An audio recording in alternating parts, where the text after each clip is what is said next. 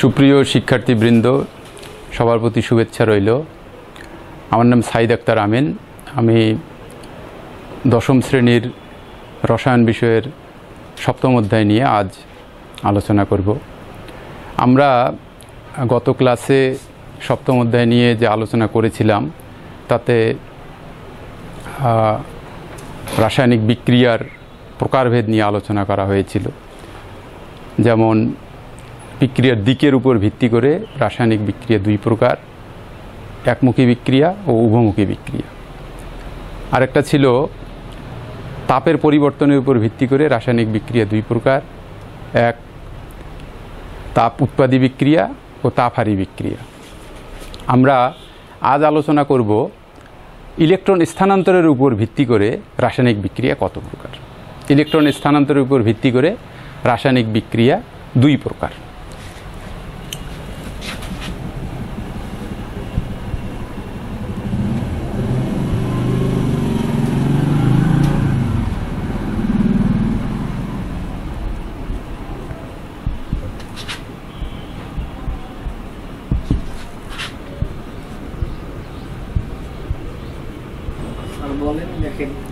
ভিত্তি করে রাসায়নিক বিক্রিয়া ইলেকট্রন স্থানান্তরের উপর ভিত্তি করে রাসায়নিক বিক্রিয়াকে দুই ভাগে ভাগ করা যায়। এক রেডক্স রিয়াকশন রেডক্স বিক্রিয়া, দুই নন রেডক্স ইলেকট্রন স্থানান্তরের উপর ভিত্তি করে রাসায়নিক বিক্রিয়া দুই প্রকার রেডক্স ও নন রেডক্স আমরা প্রথমে রেডক্স বিক্রিয়া আলোচনা করব। রেডক্স বিক্রিয়া কাকে বলে? রেডক্স শব্দটা যদি আমরা বিশ্লেষণ করি, তাহলে এখানে দুইটা অংশ আছে আরইডি এবং ওএক্স আরইডি এসছে রিডাকশন থেকে।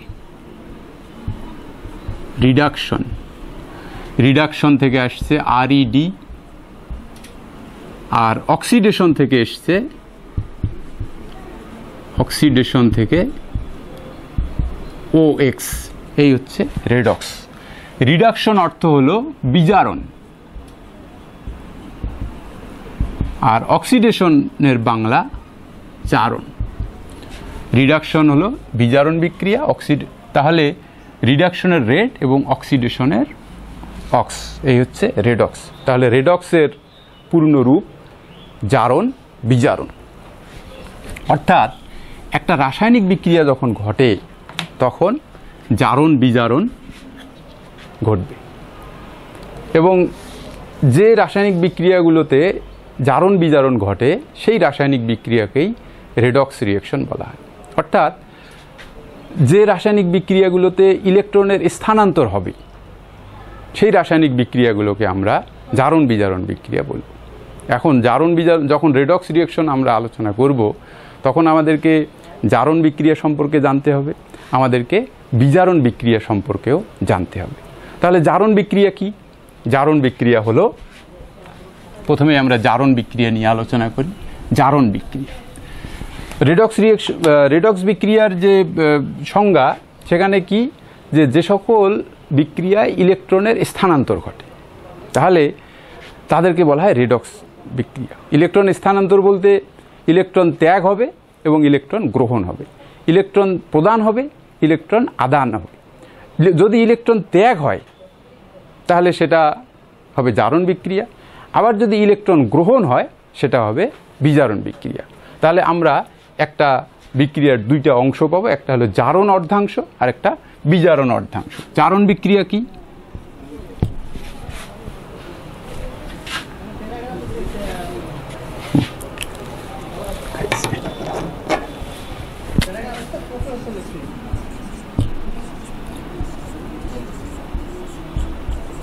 জারণ বিক্রিয়া।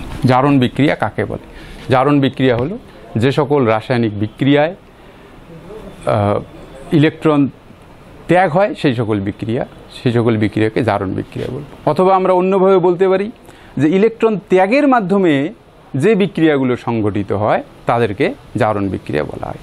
আরও অন্যভাবে বলতে পারি যে ইলেকট্রন প্রদানের মাধ্যমে যে বিক্রিয়াগুলো সংগঠিত হয়, তাদেরকে জারণ বিক্রিয়া বলা হয়। যখন ইলেকট্রন ত্যাগ ঘটবে বা ইলেকট্রনের প্রদান ঘটবে, তখন কি হবে? তখন ওই যে পরমাণু বা মূলকের, মূলক থেকে ইলেকট্রনের ত্যাগ হবে, তাহলে সেই পরমাণুর বা সেই আয়নের জারণ সংখ্যা বৃদ্ধি ঘটবে। ধনাত্মক জারণ সংখ্যা বৃদ্ধি ঘটবে। তাহলে জারণ বিক্রিয়ায় কি হবে? জারণ বিক্রিয়ায় ইলেকট্রন ত্যাগ হবে এবং ধনাত্মক জারণ সংখ্যার বৃদ্ধি ঘটবে। একটা উদাহরণ তোমাদের বইয়ে দেওয়া আছে যে সোডিয়াম। তাহলে সোডিয়ামের, আমরা জানি যে সোডিয়ামের পারমাণবিক সংখ্যা হলো এগারো, সোডিয়ামে ইলেকট্রন সংখ্যা আছে এগারোটা। সোডিয়ামের সর্ববহিস্থ স্তরে একটি ইলেকট্রন আছে। তাহলে এই সোডিয়াম পরমাণু যখন সর্ববহিস্থ স্তরের একটা ইলেকট্রন ত্যাগ করে তখন সেটা সোডিয়াম প্লাস আয়নে পরিণত হয়। এনএ প্লাস প্লাস ওয়ান ই অর্থাৎ সোডিয়ামের আমরা এইটা যদি সোডিয়াম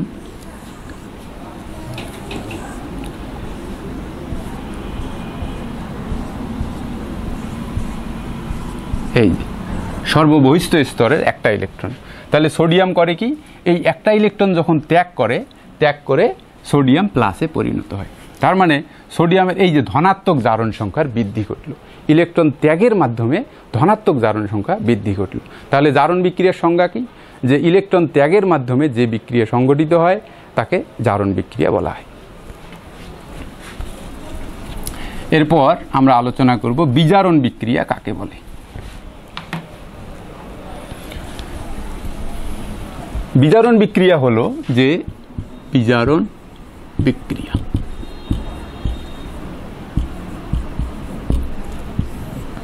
ইলেকট্রন গ্রহণের মাধ্যমে যে বিক্রিয়া সংঘটিত হয় তাদেরকে বলা হয় বিজারণ বিক্রিয়া। ইলেকট্রন গ্রহণের মাধ্যমে যে বিক্রিয়া সংঘটিত হবে এবং এই সকল বিক্রিয়ায় যে মৌল বা আয়ন ইলেকট্রন গ্রহণ করবে সেই মৌল বা আয়নের ধনাত্মক জারণ সংখ্যা হ্রাস পাবে বা ঋণাত্মক জারণ সংখ্যা বৃদ্ধি পাবে। ধনাত্মক চার্জ হ্রাস পাবে এবং ঋণাত্মক চার্জ বৃদ্ধি পাবে। যেমন ক্লোরিন। ক্লোরিন একটা ইলেকট্রন গ্রহণ করার মাধ্যমে সিএল মাইনাসে পরিণত হলো ক্লোরিন, তাহলে তার ঋণাত্মক চার্জ বৃদ্ধি পেল। তাহলে আমরা কি জানলাম? জারণ বিক্রিয়া কাকে বলে? ইলেকট্রন ত্যাগের মাধ্যমে যে বিক্রিয়া সংগঠিত হয় তাকে বলা হয় জারণ বিক্রিয়া। এবং বিজারণ বিক্রিয়া, ইলেকট্রন গ্রহণের মাধ্যমে যে বিক্রিয়া সংগঠিত হয়, তাদেরকে বলব আমরা বিজারণ বিক্রিয়া। এবং যে সকল রাসায়নিক বিক্রিয়ায় জারণ বিজারণ সংগঠিত হয়, অর্থাৎ ইলেকট্রনের স্থানান্তর ঘটে, সেই সকল রাসায়নিক বিক্রিয়াকেই আমরা বলব রেডক্স রিয়েকশন। Redox reaction. আমরা এই, তাহলে জারণ বিজারণ একটা যখন আমরা বিক্রিয়া লিখব, একটা আমাদের যখন বিক্রিয়ার সমীকরণ থাকবে, সেই বিক্রিয়াটার সমীকরণে, সেই বিক্রিয়াটার মধ্যে যে- সকল আর কি রেডক্স যে বিক্রিয়াগুলো আছে, তাহলে কোনোটার জারণ ঘটবে, কোনোটার বিজারণ ঘটবে। তাহলে আমরা কীভাবে বুঝব যে কোন মৌল বা মূলকের জারণ ঘটেছে এবং কোন মৌল বা মূলকের বিজারণ ঘটেছে, এটা আমরা কীভাবে বুঝব?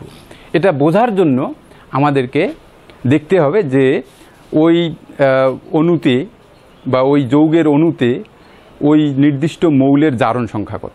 আমরা যদি কোনো একটা যৌগের অণুতে যে মৌলগুলো থাকে, সেই মৌলগুলোর জারণ সংখ্যা যদি হিসাব করি, তাহলে হিসাব করার মাধ্যমে আমরা দেখব বিক্রিয়কে জারণ সংখ্যা কত এবং উৎপাদে জারণ সংখ্যা কত। এটার মাধ্যমে আমরা নির্ণয় করতে পারব যে কোন মৌল বা মূলকের জারণ ঘটেছে এবং কোন মৌল বা মূলকের বিজারণ ঘটেছে। তাহলে এটা করার জন্য আমাকে কি করতে হবে? আমাকে আগে জারণ সংখ্যা জানতে হবে। যে জারণ সংখ্যা কি? জারণ আমরা সেই জারণ সংখ্যা নিয়েই আমরা আলোচনা করব এখন। জারণ সংখ্যা কাকে বলে?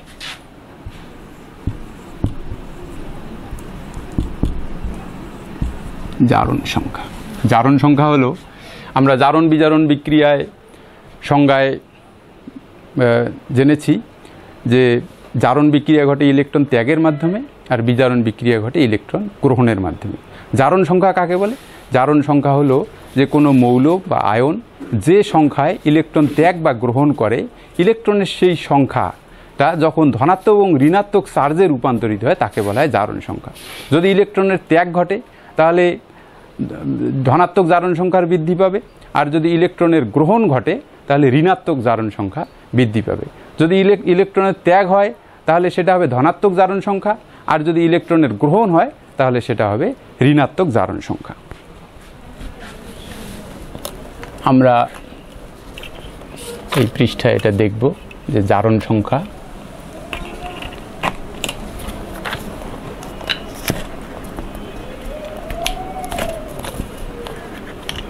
কাকে বলে?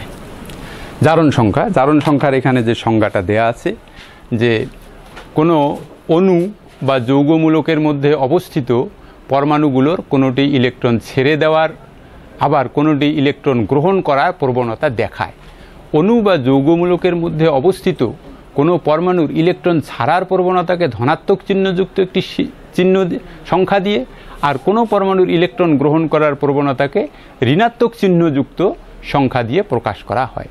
অণু বা যৌগমূলকের মধ্যে অবস্থিত কোনো পরমাণুর এই ধনাত্মক বা ঋণাত্মক চিহ্নযুক্ত সংখ্যাকেই জারণ সংখ্যা বলা হয়। তাহলে কি অণু বা যৌগমূলকের মধ্যে অবস্থিত কোনো পরমাণুর এই ধনাত্মক বা ঋণাত্মক চিহ্নযুক্ত সংখ্যাকেই জারণ সংখ্যা বলা হয়। যেমন আমরা একটা অণু যদি লিখি, যেমন সোডিয়াম ক্লোরাইড অণু সেই সোডিয়াম ক্লোরাইড অণুর মধ্যে সোডিয়ামের জারণ সংখ্যা হলো প্লাস ওয়ান। আর ক্লোরিনের জারণ সংখ্যা হলো মাইনাস ওয়ান। আমরা কি এখানে দেখলাম? সোডিয়ামের ধনাত্মক চার্জ আর ক্লোরিনের ঋণাত্মক চার্জ। তাহলে সোডিয়ামের এটা হলো ধনাত্মক জারণ সংখ্যা আর ক্লোরিনের এটা হলো ঋণাত্মক জারণ সংখ্যা। তো সেটাই বলছে যে একক পরমাণু, যেমন যখন একটা বিভিন্ন যে মৌলগুলোর জারণ সংখ্যা যখন যৌগের মধ্যে থাকে, তখন তাদের আমরা বিভিন্ন ধনাত্মক বা ঋণাত্মক জারণ সংখ্যা পাবো। কিন্তু যখন একক পরমাণু আকারে থাকবে, মুক্ত মৌল আকারে থাকবে, তখন জারণ সংখ্যা শূন্য হবে। তাহলে একটা যৌগের মধ্যে, একটা যৌগের মধ্যে একাধিক পরমাণু থাকে। যেমন সোডিয়াম ক্লোরাইডে এখানে দুইটা পরমাণু আছে। যেমন সালফিউরিক অ্যাসিডের মধ্যে, সালফিউরিক অ্যাসিডে এখানে তিনটা পরমাণু আছে। হাইড্রোজেন আছে, সালফার আছে, অক্সিজেন আছে। Potassium পারোম্যাঙ্গানেটে K M N O four তাহলে এখানে তিনটা পরমাণু আছে। তাহলে আমরা কীভাবে বুঝব কার জারণ সংখ্যা কত? তাহলে এটা বোঝার জন্য আমাদেরকে জারণ সংখ্যা নির্ণয় করতে হবে। আমাদের এই জারণ সংখ্যা নির্ণয়ের কিছু নিয়ম আছে, সেই নিয়মগুলো আমরা এখন শিখব। জারণ সংখ্যা নির্ণয়।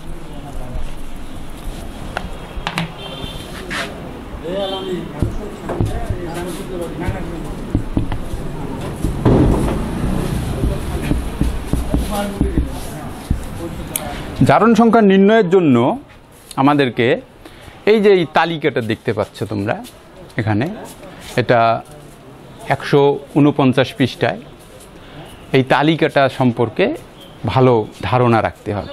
আমরা কোনো যৌগের মধ্যে কোনো যৌগ বা যৌগমূলকের মধ্যে অবস্থিত, যে কোনো পরমাণুর যদি জারণ সংখ্যা নির্ণয় করতে চাই, অজানা জারণ সংখ্যা যদি নির্ণয় করতে চাই, তাহলে এই তালিকাটা ভালোভাবে আমাদেরকে জানতে হবে।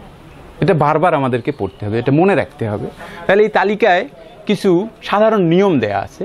যেমন ধাতুসমূহের জারণ সংখ্যা ধনাত্মক ও অধাতু সমূহের জারণ সংখ্যা ঋণাত্মক হয়। কোনো একটা যৌগের মধ্যে ধাতু আছে, অধাতু আছে। তাহলে ধাতু সমূহের জারণ সংখ্যা কী হবে? ধনাত্মক। এখানে যেমন সোডিয়াম আয়োডাইড। এখানে সোডিয়াম হলো ধাতু, আয়োডিন হলো অধাতু। তাহলে সাধারণভাবেই বলা যায় যে সোডিয়ামের জারণ সংখ্যা হবে ধনাত্মক আর আয়োডিনের জারণ সংখ্যা হবে ঋণাত্মক। তারপর নিরপেক্ষ পরমাণু বা মুক্ত মৌলের জারণ সংখ্যা শূন্য হয়। নিরপেক্ষ পরমাণু বা মুক্ত মৌলের, নিরপেক্ষ পরমাণু বা মুক্ত মৌলের জারণ সংখ্যা শূন্য হয়। মুক্ত মৌল কোনগুলো? যে সকল মৌলে, শুধুমাত্র ওই একটা পরমাণু, এক ধরনের পরমাণুই থাকে, তাদেরকে বলা হয় মুক্ত মৌল যেমন হাইড্রোজেন, অক্সিজেন, নাইট্রোজেন, এগুলো হলো সব মুক্ত মৌল মুক্ত মৌলের অণু মুক্ত মৌলের অণু, এগুলো মুক্ত মৌল আবার পরমাণু, যেমন সোডিয়াম, এগুলো, তারপরে পটাশিয়াম, ক্যালসিয়াম, এগুলো মুক্ত মৌল এগুলো সব মুক্ত মৌল এগুলো সবগুলো জারণ সংখ্যা আমরা শূন্য শূন্য হিসেবে থাকবে সবগুলো জারণ সংখ্যা শূন্য। নিরপেক্ষ যৌগে পরমাণুসমূহের মোট জারণ সংখ্যা শূন্য হয়। নিরপেক্ষ যৌগে পরমাণুসমূহের মোট জারণ সংখ্যা শূন্য হয়। তাহলে নিরপেক্ষ যৌগ কোনগুলো? নিরপেক্ষ যৌগ, যেমন পানি একটা নিরপেক্ষ যৌগ। এইচ টু এসও ফোর একটা নিরপেক্ষ যৌগ। তারপরে কে এম এনও ফোর এটা একটা নিরপেক্ষ। আচ্ছা এটা নিরপেক্ষ আমরা কীভাবে বুঝব?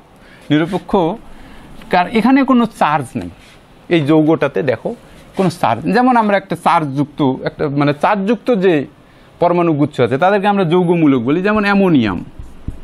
এখানে কিন্তু চার্জ আছে। এটাকে আমরা নিরপেক্ষ বলব না। এখানে চার্জ আছে। কিন্তু এগুলোতে কোনো চার্জ দেয়া নেই। চার্জ নেই। তার এগুলোর সর্বমোট জারণ সংখ্যা হবে শূন্য।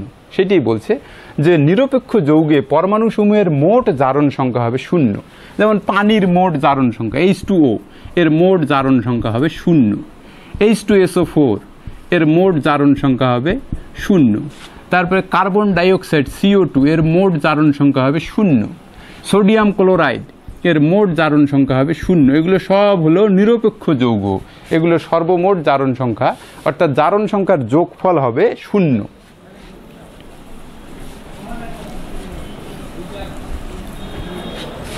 আধান বিশিষ্ট আয়নে পরমাণুসমূহের মোট জারণ সংখ্যা আধান সংখ্যার সমান।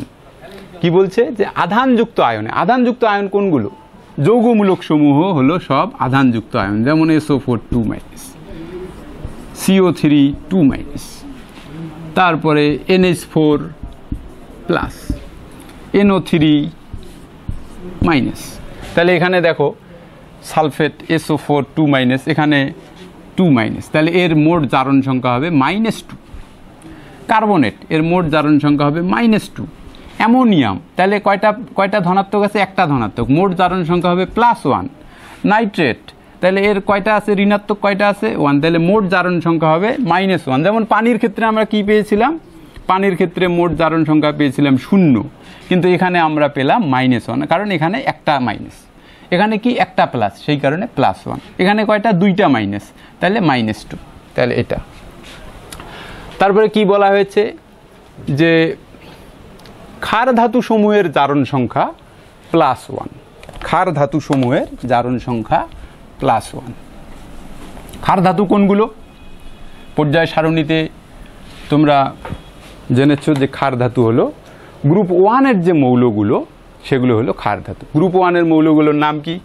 Lithium, sodium, potassium, rubidium, caesium এবং ফ্রান্সিয়াম। তাহলে এগুলো হলো সব ক্ষার ধাতু।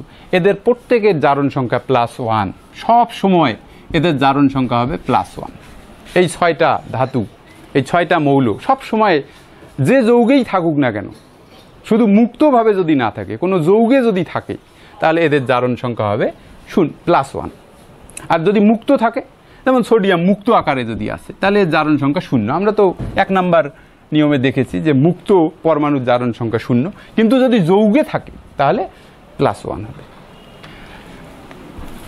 তারপর কি বলা হয়েছে? বলা হয়েছে যে মৃৎক্ষার ধাতুসমূহের জারণ সংখ্যা প্লাস টু মৃৎক্ষার। মৃৎক্ষার কোনগুলো? পর্যায় সারণীতে গ্রুপ টু এর যে মৌলগুলো তাদেরকে বলা হয় মৃৎক্ষার ধাতু। মৃৎক্ষার ধাতু, beryllium, magnesium, calcium, strontium, barium, আর হলো রেডিয়াম। তাহলে এদের প্রত্যেকের জারণ সংখ্যা কি হবে? এদের প্রত্যেকের জারণ সংখ্যা হলো প্লাস টু এরা যদি যে কোনো যৌগের মধ্যে থাকে, তাহলে অবশ্যই প্লাস টু হবে জারণ সংখ্যা। তারপরে ধাতব হ্যালাইডে হ্যালোজেনের জারণ সংখ্যা মাইনাস ওয়ান ধাতু হ্যালো এখানে দুইটা কথা আছে, ধাতব হ্যালাইড ধাতব হ্যালাইড কোনগুলো? যে ধাতুর সাথে যখন হ্যালোজেন যুক্ত হয়, তাদেরকে আমরা বলব ধাতব হ্যালাইড যেমন যেমন সোডিয়াম ক্লোরাইড সোডিয়াম আয়োডাইড তারপর সোডিয়াম ব্রোমাইড পটাশিয়াম ব্রোমাইড তাহলে সোডিয়াম ধাতু পটাশিয়াম ধাতু ক্যালসিয়াম তাহলে সোডিয়াম পটাশিয়াম ক্যালসিয়াম লিথিয়াম এগুলো সব ধাতু। এর সাথে হ্যালোজেন যদি থাকে হ্যালোজেন কোনগুলো? হ্যালোজেন হলো ফ্লোরিন ক্লোরিন, ব্রোমিন, আয়োডিন। এই যে চারটা যে মৌল, এগুলো যদি থাকে ধাতুর সাথে, তাহলে আমরা তাদেরকে বলব ধাতব হ্যালাইড। ধাতব হ্যালাইড সমূহে হ্যালোজেনের জারণ সংখ্যা। তাহলে ক্যালসিয়াম, যেমন আমরা, যে ক্যালসিয়াম আয়োডাইড। ক্যালসিয়াম আয়োডাইডে ধাতু কোনটা? ক্যালসিয়াম আর হ্যালোজেন কোনটা? হ্যালোজেন হলো আয়োডিন। তাহলে এখানে হ্যালোজেনের জারণ সংখ্যা, অর্থাৎ আয়োডিনের জারণ সংখ্যা হলো মাইনাস ওয়ান। তারপরে পটাশিয়াম, ব্রোমাইড। তাহলে এখানে হ্যালোজেন হলো ব্রোমিন, তাহলে এর জারণ সংখ্যা হলো মাইনাস ওয়ান ধাতব হ্যালাইডে হ্যালোজেনের জারণ সংখ্যা সবসময় মাইনাস ওয়ান হবে। আর ধাতব হ্যালাইড ছাড়া অন্য কোনো যৌগে যদি থাকে, তাহলে সেখানে হ্যালোজেনের জারণ সংখ্যা মাইনাস ওয়ান সুনির্দিষ্ট মাইনাস ওয়ান নাও হতে পারে, তখন সেটা সেই জারণ সংখ্যা আমাদেরকে নির্ণয় করতে হবে। অধিকাংশ হ্যাঁ, অধিকাংশ যৌগে হাইড্রোজেনের জারণ সংখ্যা প্লাস ওয়ান হাইড্রাইটে হাইড্রোজেনের জারণ সংখ্যা মাইনাস ওয়ান অধিকাংশ যৌগে হাইড্রোজেনের জারণ সংখ্যা প্লাস ওয়ান অধিকাংশ যৌগ বলতে যেমন পানি এখানে হাইড্রোজেনের জারণ সংখ্যা প্লাস ওয়ান তারপর মনে করো যে সোডিয়াম হাইড্রোক্সাইড এখানে হাইড্রোজেনের জারণ সংখ্যা প্লাস ওয়ান তারপরে অ্যামোনিয়া এখানে হাইড্রোজেনের জারণ সংখ্যা plus one H two SO four এখানে হাইড্রোজেনের জারণ সংখ্যা plus one H NO three এখানে হাইড্রোজেনের জারণ সংখ্যা প্লাস ওয়ান এগুলো সবগুলোতে হাইড্রোজেনের জারণ সংখ্যা প্লাস ওয়ান কিন্তু এখানে আরেকটা কথা বলা হয়েছে, বলছে যে হাইড্রাইডে হাইড্রোজেনের জারণ সংখ্যা মাইনাস ওয়ান হয়।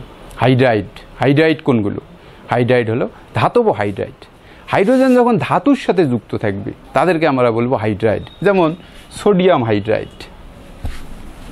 বা ক্যালসিয়াম হাইড্রাইড সোডিয়াম হাইড্রাইড এটা একটা হাইড্রাইড ক্যালসিয়াম হাইড্রাইড এটা একটা হাইড্রাইড পটাশিয়াম হাইড্রাইড এটা একটা হাইড্রাইড তাহলে এখানে হাইড্রোজেনের জারণ সংখ্যা মাইনাস ওয়ান হবে।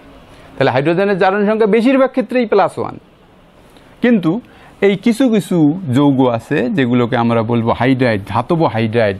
সেক্ষেত্রে হাইড্রোজেনের জারণ সংখ্যা হবে মাইনাস ওয়ান। আমরা যখন জারণ সংখ্যা নির্ণয় করব, তখন আমাদেরকে এইটা খেয়াল রাখতে হবে যে হাইড্রোজেন ধাতুর সাথে আছে নাকি? শুধুমাত্র ধাতুর সাথে আছে নাকি? হাইড্রোজেন হাইড্রাইড আকারে আছে কি না যদি থাকে তাহলে মাইনাস ওয়ান। আর তাছাড়া হাইড্রোজেন প্লাস ওয়ান। তারপর কি দেওয়া আছে? যে অধিকাংশ যৌগে অক্সিজেনের জারণ অক্সিজেনের জারণ সংখ্যা, যেমন অক্সিজেন পরমাণুটা অক্সিজেন মৌল, বহু যৌগে অক্সিজেন থাকে এইচ টু এসও ফোর তারপরে H NO three H NO three K M NO four K two CR two O seven এই দেখো সবগুলো তো অক্সিজেন আছে। এখানে সবগুলো ক্ষেত্রে অক্সিজেনের জারণ সংখ্যা কত?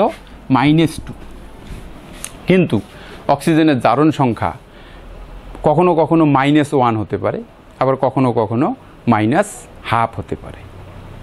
তাহলে মাইনাস ওয়ান খুব অল্প ক্ষেত্রে মাইনাস ওয়ান যেমন পারক্সাইডের ক্ষেত্রে মাইনাস ওয়ান হবে, যেমন এইচ টু এসও ফোর না H two O two hydrogen peroxide sodium peroxide H two O two hydrogen peroxide sodium peroxide তাহলে এগুলো ক্ষেত্রে অক্সিজেনের জারণ সংখ্যা মাইনাস ওয়ান আবার অক্সিজেনের জারণ সংখ্যা মাইনাস হাফ হতে পারে। যেমন সুপার অক্সাইডের ক্ষেত্রে অক্সিজেনের জারণ সংখ্যা potassium super oxide sodium super oxide এই সকল ক্ষেত্রে অক্সিজেনের জারণ সংখ্যা মাইনাস হাফ তাহলে এখানে কি হবে? এখানে হবে অক্সিজেনের জারণ সংখ্যা মাইনাস হাফ এগুলোর ক্ষেত্রে কি হবে? মাইনাস ওয়ান আর বেশিরভাগ ক্ষেত্রে অক্সিজেনের জারণ সংখ্যা হবে মাইনাস টু আমাদেরকে এইটা খেয়াল রাখতে হবে যে পারক্সাইড আকারে আছে না সুপার অক্সাইড আকারে আছে। তাহলে সেখানে মাইনাস যথাক্রমে মাইনাস ওয়ান ও মাইনাস হাফ হবে, আর তাছাড়া অক্সিজেনের জারণ সংখ্যা মাইনাস টু সাধারণভাবে। তাহলে আমাদের হলো এই যে এই যে চারটা দেওয়া আছে, এই তালিকাটা দেওয়া আছে, তাহলে এই তালিকাটার মধ্যে যে একটা কোনো যৌগে, যে কোনো মৌলের জারণ সংখ্যা নির্ণয় করার জন্য এই সাধারণ যে নিয়মগুলো, এগুলো আমাকে, আমাদেরকে মনে রাখতে হবে। এই যে সাধারণভাবে যে ইয়েগুলো দেওয়া আছে, মৌলগুলোর জারণ সংখ্যা দেওয়া আছে, এগুলো আমাদেরকে মনে রাখতে হবে। এটার উপর ভিত্তি করে আমরা যে কোনো যৌগে, যে কোনো মৌলের জারণ সংখ্যা খুব সহজেই নির্ণয় করতে পারব, খুবই সহজে নির্ণয় করতে পারব এবং নির্ণয়ের জন্য কয়েকটা নিয়ম দেওয়া আছে। যেমন, যে কোনো একটা যৌগে সুনির্দিষ্ট মৌলের জারণ সংখ্যা নির্ণয় করার জন্য আমাদেরকে ওই মৌলটার জারণ সংখ্যা এক্স এক্স এক্স ধরে নিতে হবে।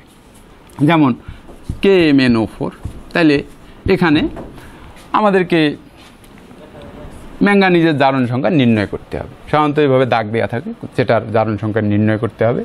তাহলে ম্যাঙ্গানিজের জারণ সংখ্যা কত? এটা নির্ণয় করার জন্য ধরি ম্যাঙ্গানিজের জারণ সংখ্যা।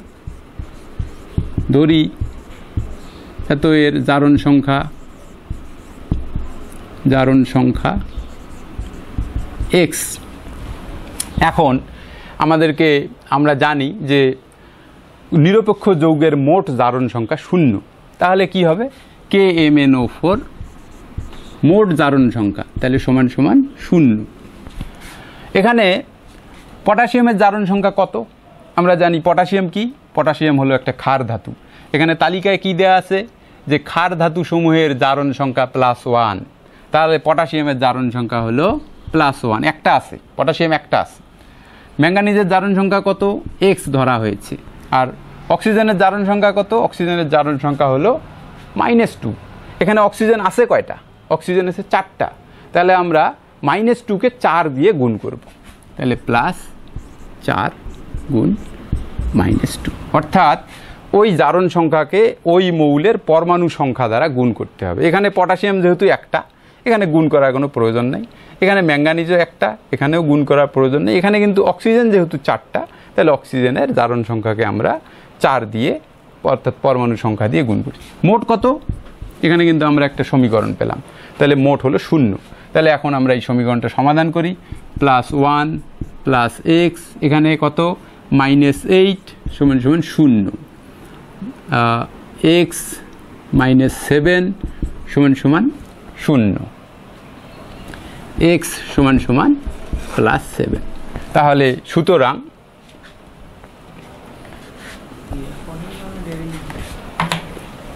সুতরাং ম্যাঙ্গানিজের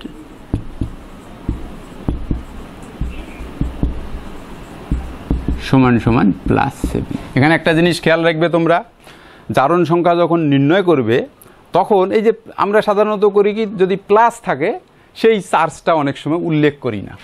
দেখা যায় যে প্লাস যে শুধু সেভেন যেহেতু আছে প্লাস তো উজ্জ আছে, ব্যাপারটা তা না। তোমাদেরকে যদি প্লাস থাকে, অবশ্যই এখানে প্লাসটা দিতে হবে। মাইনাস থাকলে মাইনাস অবশ্যই দিতে হবে।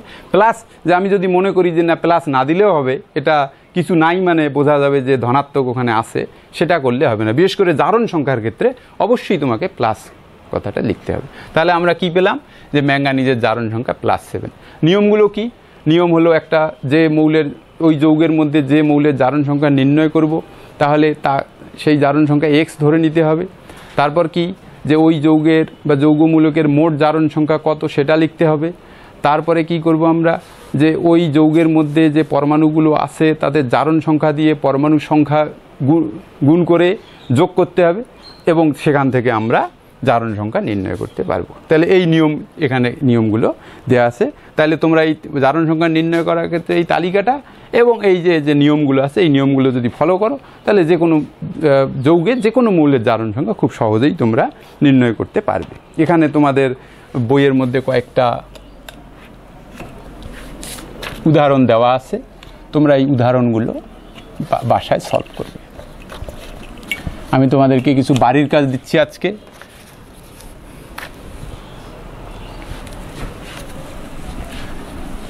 আমাদের আজকের আলোচনা এ পর্যন্তই। আমরা আমি কিছু বাড়ির কাজ তোমাদেরকে দিচ্ছি। বাড়ির কাজ যে ইলেকট্রনের স্থানান্তর উপর ভিত্তি করে রেডক্স রিয়েকশন কি?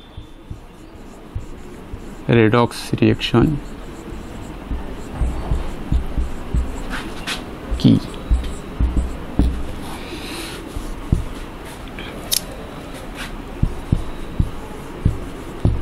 জারণ বিক্রিয়া। কাকে বলে? উদাহরণ। দাও। বিজারণ বিক্রিয়া।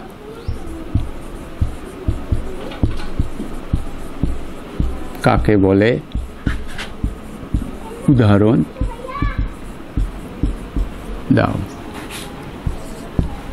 চার নম্বর জারণ সংখ্যা।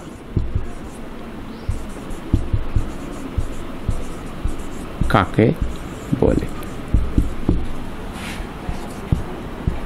জারণ সংখ্যা।